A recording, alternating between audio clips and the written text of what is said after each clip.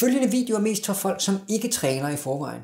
For at finde ud af, hvad man hurtigt kan forøge sit paringspotentiale ved at begynde at træne, så snakkede vi med personlig træner Søren Johansen om, hvordan man kommer i gang med at træne.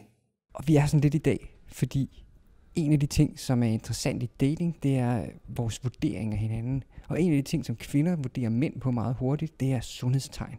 Det er tegn på, om man er værd at få fat i på, det, på sin form, på sin vægt, på sin BMI, på størrelsen af brystkassen og alle de her ting. Og mange af de her ting kan man faktisk gøre noget ved.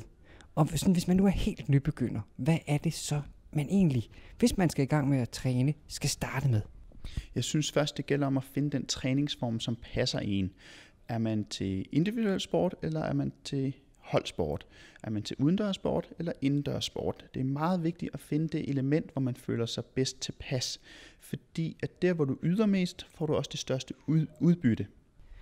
Og hvis man så ligesom tænker, nu skal jeg i gang, jeg har bare mig selv, jeg skal i gang med at træne, og det er de fleste dyrker fitness, jeg kan komme ned i et fitnesscenter. Hvordan starter jeg? Altså, hvordan kommer jeg i gang? Jeg synes øh, helt sikkert, det er en god idé at kontakte en fitnessinstruktør eller en personlig træner og få den øh, korrekte vej, vejledning fra start af. Men ellers kan man selvfølgelig sige nogle generelle ting øh, om at, det om at komme i gang. Øh, det er altid en god idé at starte måske i øh, maskiner, og så gå, jo mere erfaren man bliver, bevæge sig over i mere øh, frivægte. Fordi at når man starter i maskiner, så er chancen øh, eller risikoen mindre for skader og sådan nogle ting.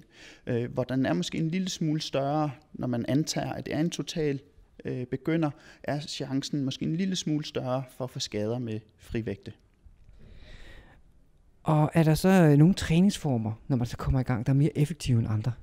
Nej, ikke som udgangspunkt.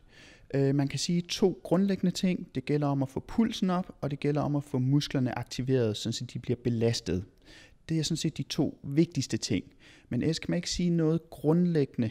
Er der nogle bestemte øvelser, som er gode at lave fra starten af? Jeg vil sige, at man skal sørge for at få aktiveret hele kroppen. Selvom det gælder om at få den store brystkasse, handler det også om at få ben og ryg og skulder med. Hvorfor er det de her muskelgrupper, man skal gå i gang med? Det er store muskelgrupper. Det er dem, der kan svare sig og henvende sig til. Jo større musklen er, jo mere kan man ligesom øh, få den til at vokse og sådan nogle ting. Og man får et hurtigere udbytte ud af sin træning. Noget af det svære, det er jo at lave vanerne om. Det der med at komme ned i træningscenteret, det er det der med at komme i gang har du nogle råd til, hvad man egentlig skal gøre for, at man mentalt kommer i gang til at ændre de vaner, man nu har? Jeg synes allerførst skal man sætte sig et mål. Øh, et realistisk mål, men et mål, der kan være lidt svært at opnå. Det kan være, at jeg vil se sådan ud. Det kan være, at jeg vil kunne løbe så hurtigt. Det kan være, at jeg vil løfte den her vægt.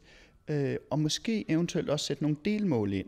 Jeg vil tabe 5 kilo, okay, men første mål det er 2,5 kilo. Jeg er på vej, og så 5 kilo, det er det store mål. Øh, dernæst så er det noget med vedholdenhed. Det handler måske om at inddrage nogle familiemedlemmer og fortælle dem om målet, sådan så man bliver lidt mere committed eller hængt lidt mere op på sit, på sit mål.